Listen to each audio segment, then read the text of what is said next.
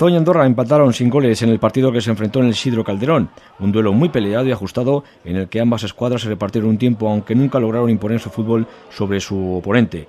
Al final, reparto de puntos entre ambos contendientes que parece justo visto lo ocurrido durante los 90 minutos de partido. Con este punto sumado por el Andorra, el conjunto que dirige Moisés de Gutiérrez ocupa el puesto decimosexto con 30 puntos sumados a 7 del grupo de descenso que encabeza en estos momentos el Brea. Para la próxima jornada, el Andorra recibirá en el Juan Antonio Endeiza al Ebro.